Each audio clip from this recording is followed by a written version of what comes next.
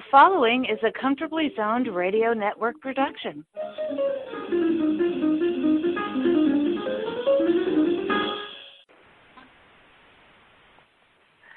Thank you, Tally Olson. We are back. New York Mets baseball in the zone. I'm Ralph Tyko. It's the Comfortably Zoned Radio Network. The hosts are here, both of them. Marty Rose, how are you? Very good, Ralph. Thank you. Very good. Good. Robert Cole. Doing well, Ralph. Thank you. Good. Marty sounds more and more like his brother Barn every day. I don't know what it is. He should be sounding more and more like you. He's the younger one. But, That's uh, true. Mm. Lord works in mysterious ways. We just have to accept the pandemic and go out and have a church meeting and pray that it all goes away. Sing it, everybody. Hallelujah. Oh, I don't know what the hell happened to me. Um, Having a little flashback there, Ralph. I just don't know what it is. It, it, the world got to me. I don't know if we should party on the beach when the storm goes away. I I think we should open the bars, if nothing else, and then the schools. What's happening with me? All right, let's talk a little Mets baseball, if there still is Mets baseball. Yeah. Well, I as wanna of the moment get- there is. Okay. Well, I want to get both of your impressions on not only Cespedes deciding to pull the plug on his season, which he's entitled to do, but the whole thing, the way it was handled by him, by the public relations with the Mets, because I was listening to the game on um, on um, MLB, the, the radio broadcast, and Howie was just beside himself. He was just, they got some news, obviously, from the TV side, and he says, I'm not even going to announce this.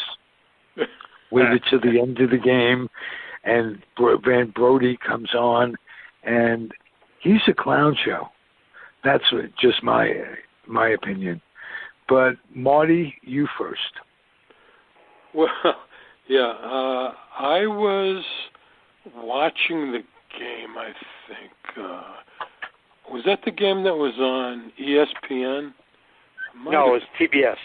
Oh, it was on TBS. Okay, so I, I know I was watching the game, and you know they they first announced that uh, they couldn't reach uh, Cespedes. Uh, they hadn't hadn't heard from him. He didn't show up for the game. Nobody knew where he was or, or what happened. That was that was the first thing, and um, then we really didn't really didn't hear anything else for quite quite a long time. Um, then, then eventually uh, we heard that. I guess I saw it on Twitter first that you know he said he's opting out, and you know that that wasn't announced. Nobody knew about it apparently. Now later on, a couple of the players had different opinions. They thought that that somebody should have known or did know, uh, but it just it just wasn't handled well by anybody. And you know, obviously, he's entitled to opt out if he wants to. You can't blame him for that. Um, he he wasn't hitting. He wasn't happy. Uh, a lot of things involved. So I mean, look, the guy hasn't played since what 2017. Shisha Bov. so I mean, his career is over. That's Yeah. it. I mean, Well, anybody- certainly with the Mets. Certainly with the Mets. yeah, definitely with the Mets, but I mean, it might be for anybody because I don't see anybody uh, putting down anything for this guy who hasn't played since 2017 and and, and acts like this and pulls stunts like this. Robert. Well, yeah, pretty much, you know, like what Marty said, uh, he and I actually both posted almost at the same time uh, that you know he hadn't shown up at the ballpark, and then um, sometime during the game, the Braves announcer said, "We got the just got this report that there is no uh, fear of." Uh, uh, yeah, anything wrong anything. with the guy? Yeah, yeah, he's okay. Right. And then uh, you know, then and then actually Marty posted it and then I saw it myself that uh he had opted out and his agent is trying to say that he opted out because of the coronavirus fear.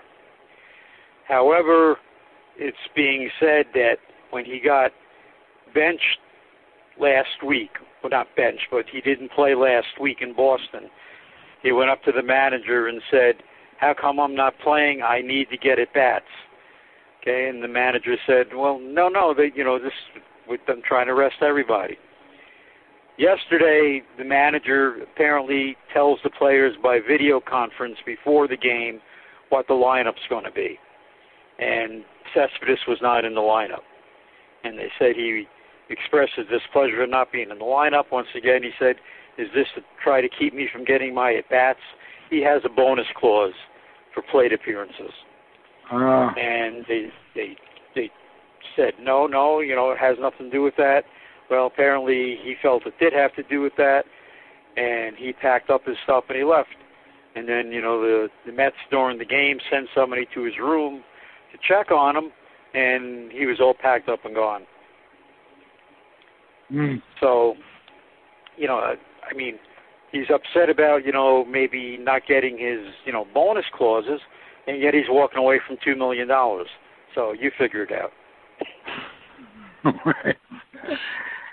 Stepping over pennies to pick up the dollar, or stepping over dollars to pick up pennies. That's what it, Yep. it amounts to. And not picking up any pennies, and just Right. acting irrationally from you know without um, without a filter. And I I know how that goes. Um, but um, you know, like like Marty said too, you know, uh, you know, this this was the year for him to prove that he had anything left in the tank in order to get a contract with somebody. You know, I mean, and he should know, have been able to do it in a short in a short time. He could prove Right. a lot and not really put himself in jeopardy. You, you know, wow, he paid, he played sixty games. Somebody's going to fall for that, um, Yeah. or somebody's going to benefit from for, from that. But not doing that is like uh, he's got a showcase and he's not taking it. Yep. So. Uh, Hmm. major disappointment on some levels. Marty said something. Now we can move on.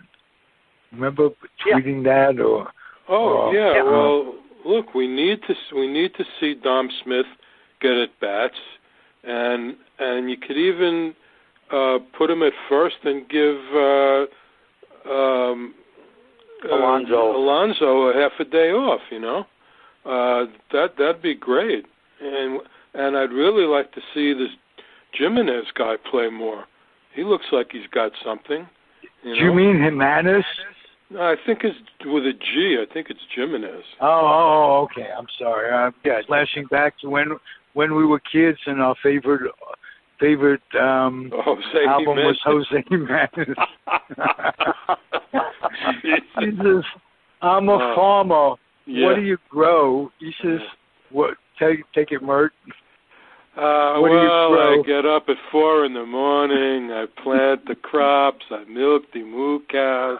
uh, uh, yes, I, I, I grow tired. That's it.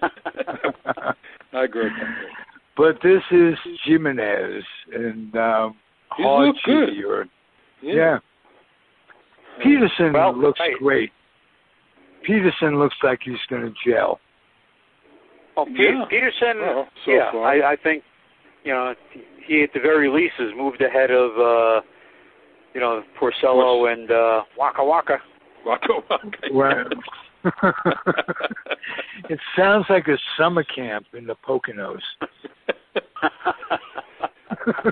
Waka Waka. Well, Yeah, I'd like to see All right. how this uh, Kilome kid does. Also, you know, Yes. I mean, he should he should get some innings because if they keep playing like they've been playing, uh, they're going to be out of it. Uh, and you know, they might as well see what these guys have. Uh, you know, give them Right. maybe even start them. You know, Hey, toward the end of the year. you got to give Cano his due.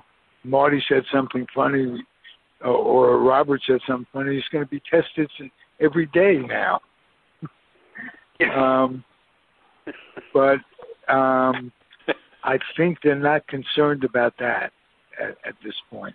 I think the Well, testing has. No, actually, Cano has been pretty good.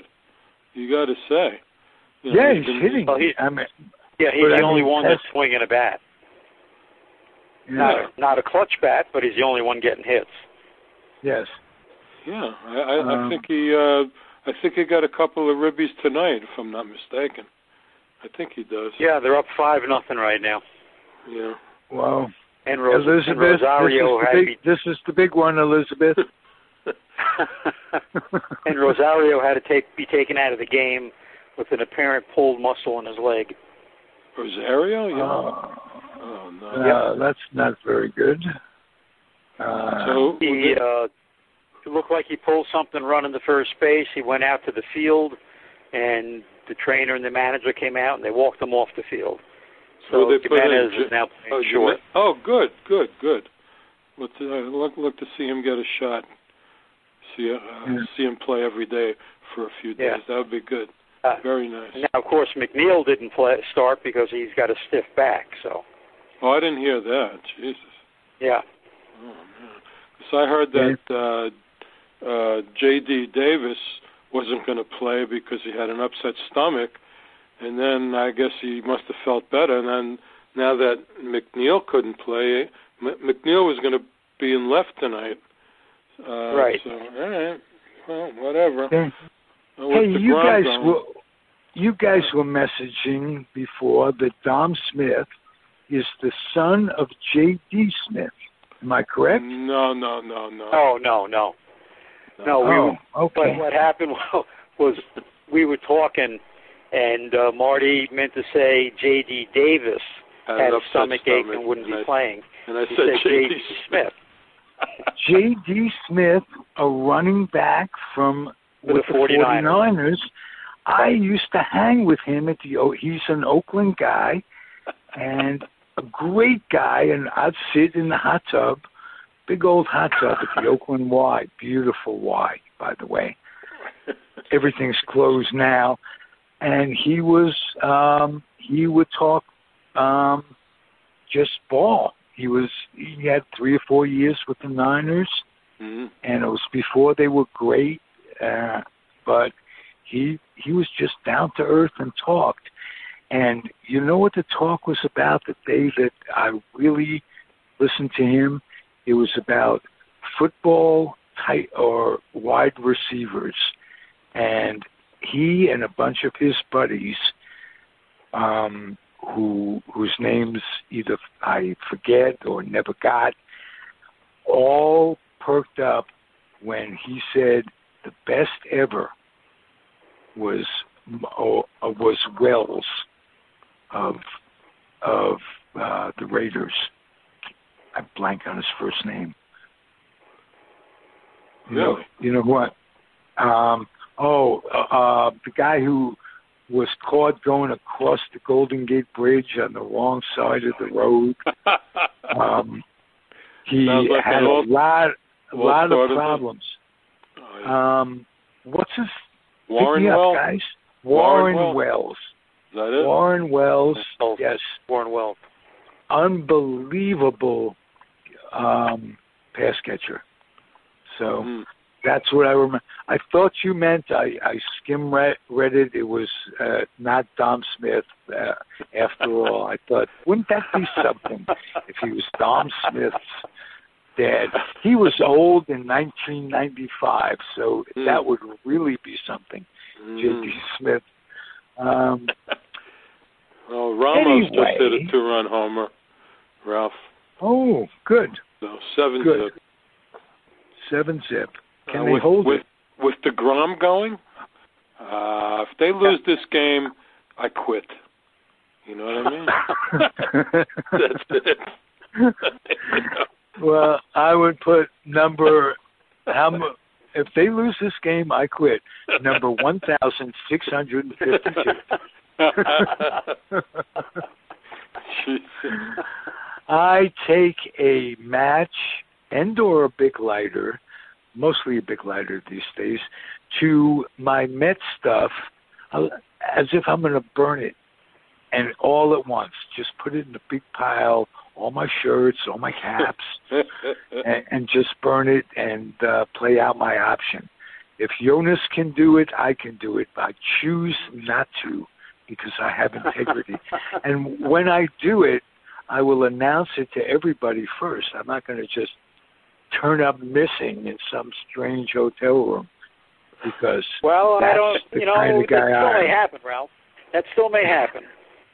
right. it certainly may, believe me. It, the, the thought crosses my mind on a very regular basis. I wanted to compare this PR disaster because it was a disaster, especially a lot. Nimmo was one of the players claiming that, yeah, we knew about it and they were covering it up and Mhm. didn't know what to say. They wanted transparency or lack thereof. Well, they didn't want to cover it up, but they had to cover up that statement. But um, compare that to Gil Hodges' tragic passing and them announcing at the funeral that Yogi Berra is going to be the next a new manager, the interim manager. Yeah. Um, yeah, well, they, they had everybody had, uh, together. right. Yeah. It never, it, whatever they said about it, it seemed really low class to do that. And um that's Well, you know, the way it goes. So The Yankees did something similar, and Bob Lemon was still there. Remember that? Oh yes. They yes. announced Billy Martin's going to be the manager next year, and Bob oh, Lemon. at old yeah. timers, yeah, he comes out Yes. at old timers game. unbelievable. Yes. Ah, yes, and Lemon, mu- poor Bob Lemon. oh, um, Bob, Unbelievable. um, he lost a kid. He was going. His life was going along so great, and he lost an adult son. hmm. Um, somehow, I don't remember what it was, but um, he was pretty broken after that. Um, that was those years with the Yankees were a, a zoo, as uh, Golenbock wrote in um, wrote for Sparky Lyle up at the Bronx Zoo. yeah. Wow. Um, crazy Wasn't that a- years. Wasn't that Graig Nettles? Might have been.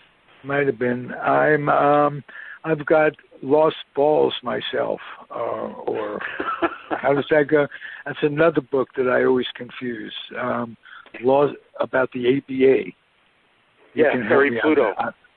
Terry Pluto. There was two. There were two books. One was Lost Balls, and there was another one. And uh, I'm always confusing those two. I'm getting old and doddering. I confuse a lot of things. Time to write a book, and I am. I am dictating. Uh, have you guys heard about it? It's um, Absolutely, should be good. very yeah. serious. Um, I'm dictating it into a machine that transfers it to print, and um, that is because I couldn't do it any other way. I You had have to take typing as a super as a super senior in Newtown, and I would do it with two fingers. So I'm doing that, and I'm talking about um, a lot of things. I'm talking about my Topps experience, and I'm talking about the um, this very um, well, let's call it a network, and it is. And I'm talking about the folks involved in the network. You guys included, people like uh, Peter Golenbock, Hal Bock, Hmm. David Hubler, Lenny You got an Letty? Randle. Who's going to be the editor? Uh, It's going to be George Grimm, who I am writing it um, as told to. uh-huh. George Grimm is is a hockey writer. He's published two books. He Huh. is also a fellow podcaster. He wrote the article on the on the network and myself in Seniors um, something magazine, Super Seniors magazine, that um, is on. I'll figure that one out in a minute too. It goes along with long balls and a fading memory. Um, but he- he's going he's going to do the editing, and I've got a bunch of stories, including uh, you and I, Mert, growing up, and um, wow. all baseball stories. And uh, one of the things I'm going to do is basically um, transpose the some key podcasts and talk about them. And um, one of them I'm planning to um, put in there is your incredibly good, well done interview with Marty Appel on um, Casey Stengel's book. What? Marty. What? So, y- remember you had an interview with Marty Appel on this network? I I think we didn't we do that together? I mean, uh, Uh, no, you did that alone. no. I don't. Yeah. I contributed very little to it. You basically did it alone, and that's one of the things I'm most proud of on the network. Really? Mert, we were 10 years old going on the bus, going to the Y, the Uh, year the Giants and Dodgers were, were moving, and we were talking about that back Yeah. then. Yeah. So this in Yeah. a book is going to be very nice. This a part of the book is going to be very nice. Wow. So Incredible. I'm really psyched about that, and a bunch of other stuff. I've lived a um, Walter Mitty type life with my Topps trip, and uh, Mm. getting to know a bunch of people that um, helps make make me a more informed baseball fan. Mhm. And um, Yeah. so there you go. That's what I've been doing. I'm taking two hours a day and devoting devoting it to that.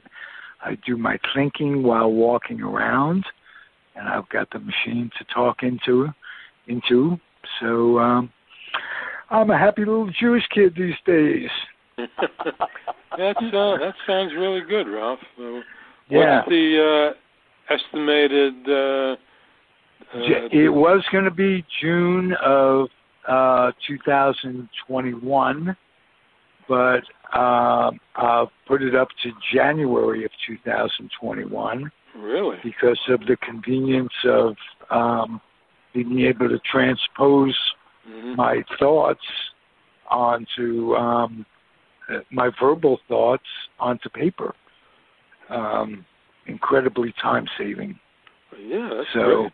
Very good. and um, so what what is this machine that that you have, Ralph? It is something I downloaded from. It's an app that will um, you can talk into um, on the smartphone, and it will print out what you're saying. And then, in other words, I can put a chapter in, print it out, put the commas in, edit it any way I want, and send it on its way. So is is it a freestanding machine or an app on the It- computer? It's an app on the computer. Okay. It's an app on the smartphone. That's great. Hmm. Yeah. Yeah, Yeah, yeah. End So- up doing away with keyboards altogether. absolutely. or, or at least for the first part of it. Yeah, And um, that's great. yeah, so I'm very excited, and I hope to get into the Hall of Fame as the first podcast, um, first podcaster in the writers section of the Hall of Fame. Well, there you go. Would that be something you can come and visit on visit me on in Cooperstown for the induction ceremony? I am a dreamer. I am a daydreamer from day one, and um, I, you never know. You, um, that's what I would like to have happen. And to be honest with you, well deserved because if you look at the quality of the podcasters and the shows on this network, um, it's um, it's top notch. I used to think that I was the poor man's Dick Schaap, you know, who had remember him? Oh, sure. And yeah, um, yeah sports reporters, original. sports reporters, The original. and uh, yeah. this network is, seems to have gone that route, and I will match guys like Hal Bock, Peter Golenbock, Lenny Randle, Skip Lockwood, Sure. Marty Rose, Robert Cole. I can go on and on, and I have.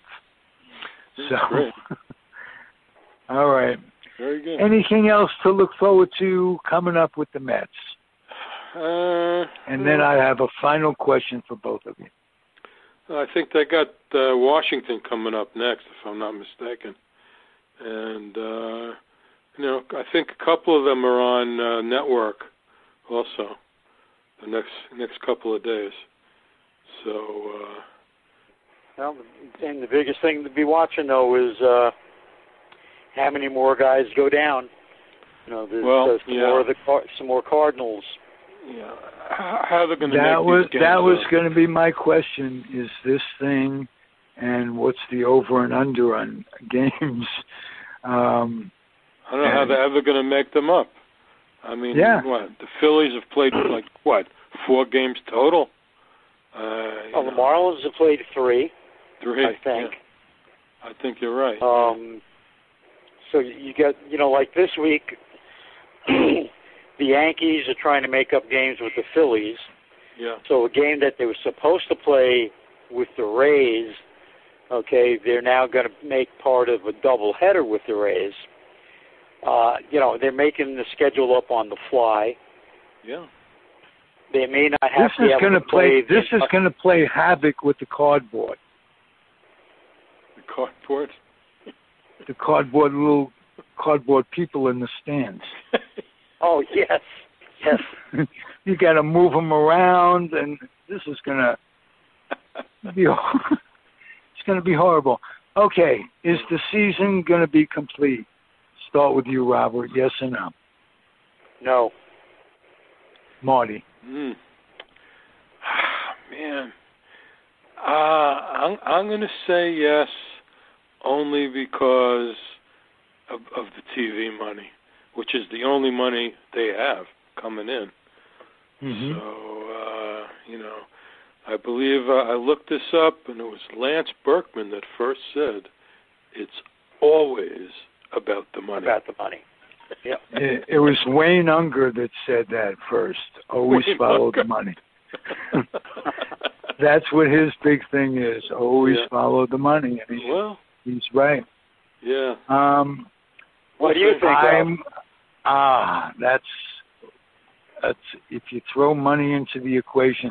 I will say though, there was one pitcher, I don't know, with the Red Sox, who came down with the virus. He's now got heart problems. You know, that's part So- Rodri- uh, Rodriguez, I think his name is. Right now, are the owners going to put Freddie Freeman for him? He's playing again.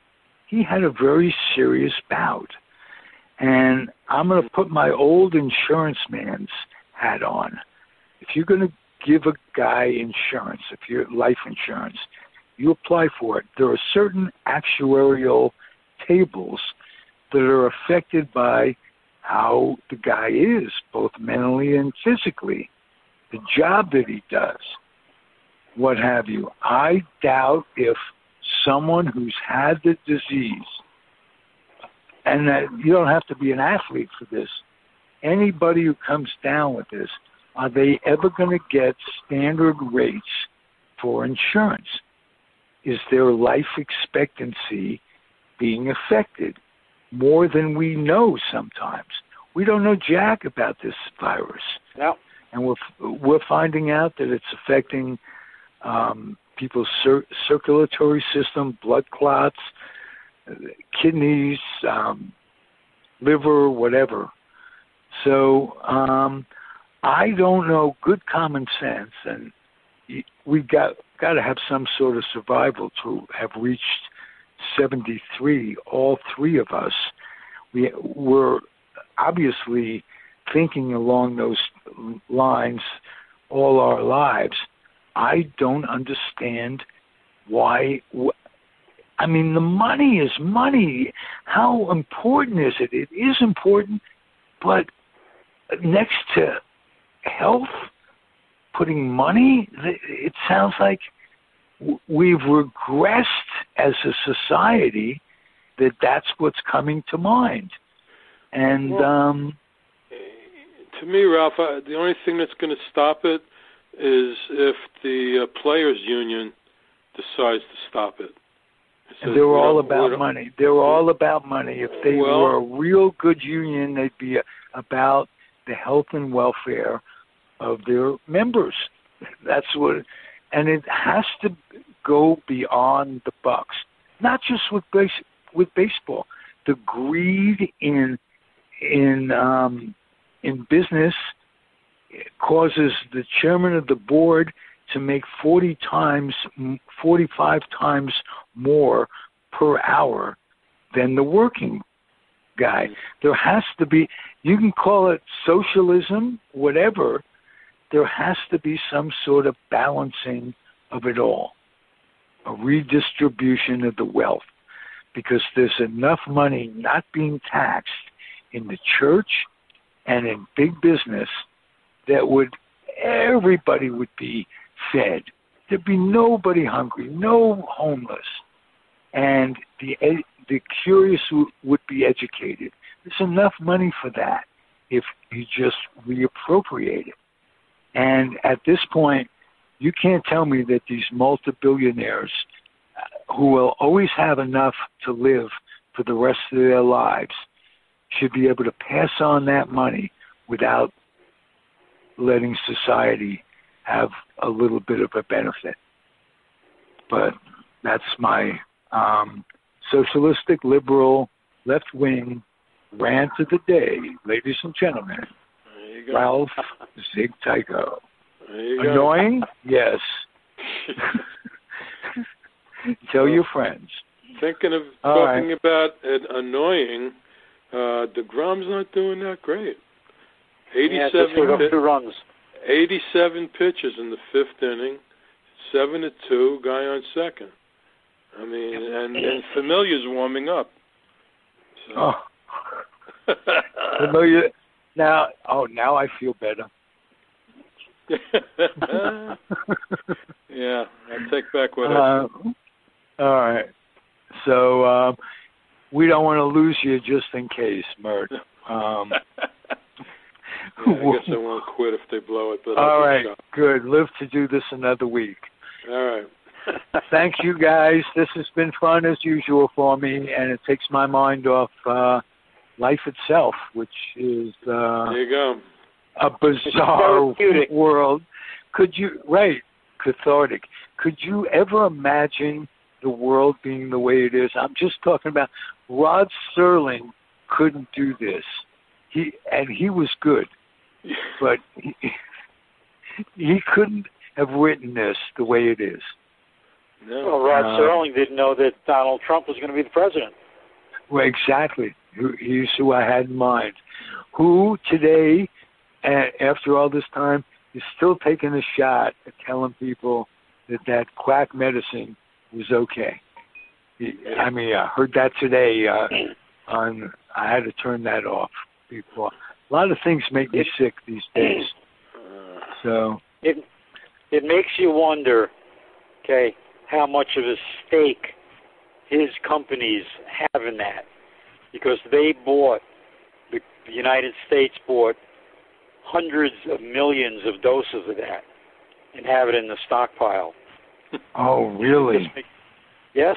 Hydrochloroquine. That, that Yep. stuff. Hydro- Great. hydroxychloroquine. Hydroxychloroquine. Huh. Okay. And you know what he that said that first, was stupid? He says the stuff works on lupus and on something else. Ebola, and it yeah. does. Yeah, And it Ebola, may- it Yeah. shot. Yeah, it'll That's what it was made for. It was made for lupus and for malaria. Well, Right. And he saying s- stupid stuff like that is like we took science with Mr. Bauer in junior high school. I, and I was, as usual, not ahead of the game. And I realized the stupidity of that statement. And it, you know, again, um, I I don't want to run for the this. Uh, I don't want to be in the running. And as a matter of fact, I am going to refuse no matter what. But um, this guy's a freaking moron. How about that? Yeah, no question. All right. Let's hope uh, that nobody really gave him the code to the to the weapons, to the nukes. Can you imagine they're talking up? We're not going to give this guy the code. Fuck that. Are you kidding? There's got to be somebody with some sense. And let me tell you something. That somebody, to be serious for a second, was McConnell this week. Because with all the babble about putting off the election, McConnell comes out there and he says, We've been putting elections together in this country for 200 plus years. I can assure you that on Tuesday, November 3rd, we will have a voting. In other words, and he also said to his fellow senators, Republican senators, divorce him if you see fit. Whoa. In, Did he say that? her- yes. Yes. Wow. So um, I think, and um, um, it's just a wild guess, but Amendment 25 can't be far from it because they are not going to win. And if Pence does an Amendment 25, that means he's president and he's the incumbent president, um, if you will. So, Mm. um, and I'll be honest with you, Pence, you could throw Pence, Romney, and Biden in the mix, and there's not that much difference between the three of them. I mean, Pence is the crazy born again. Mm. Biden, uh, um, uh, Romney belongs to a cult, a Christian cult, and um, and uh, Biden is uh, he's got a lot of baggage. So if Trump doesn't win, it, it will be interesting. If Trump doesn't run for one reason or another, pray God, it will be interesting from from that standpoint. Um, I was thinking, who would you? That would be interesting. Who would you vote for? Parties notwithstanding, and the and the Supreme Court doesn't matter. It seems as much because you got guys appointed by conservatives, take going becoming liberal and what have you.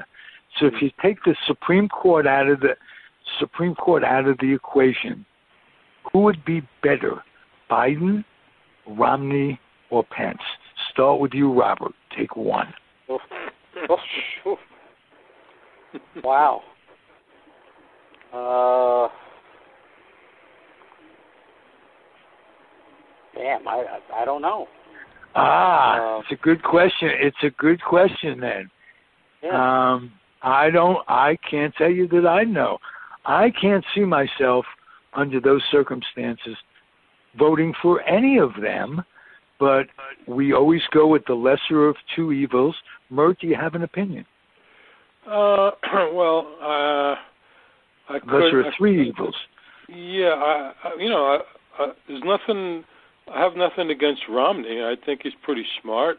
He knows his stuff, Right. and I think he'd do a good job.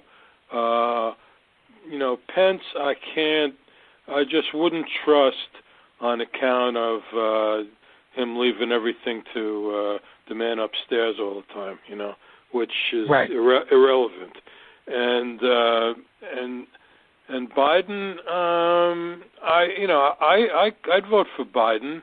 Um, I think uh, you know he had he had the VP experience. He sat in the rooms for four years with Obama and everybody, so he, he, he you know he's indoctrinated to the system. He knows what's going on.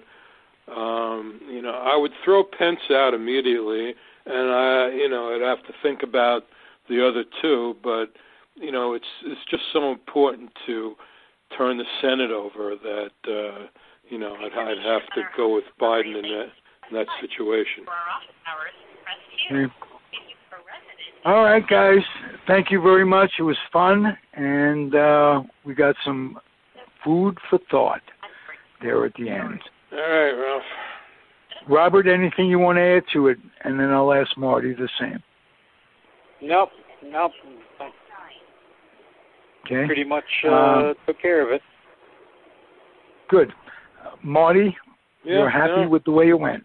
Well, yeah, everything you know, everything's fine. I just uh just hope the Mets can win this game. That's that that's a one game at a time. Let's win this game. Uh, don't blow it, please. Good. And you know, overall, with everything that's wrong with the, with what they've done to bastardize the rules, seven inning double headers, this, that, and the other thing, it's nice to have baseball back. Well, yeah, it's still it's still baseball. You know, no That's matter true. what they do. That's it. And you know, unlike college baseball, you don't hear a ping in the bat.